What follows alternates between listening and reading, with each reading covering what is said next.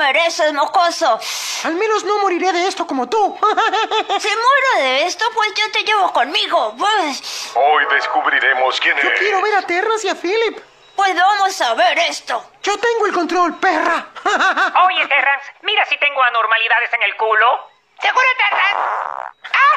¡Me agarraste! Es inocente. Dame el control. Ni lo sueñes. Veremos a Terrence y Philip Continuamos con